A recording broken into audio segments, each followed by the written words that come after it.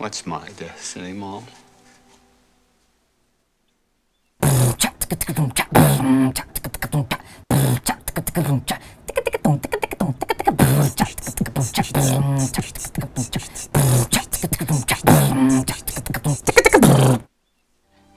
Mama always had a way of explaining things so I could understand them.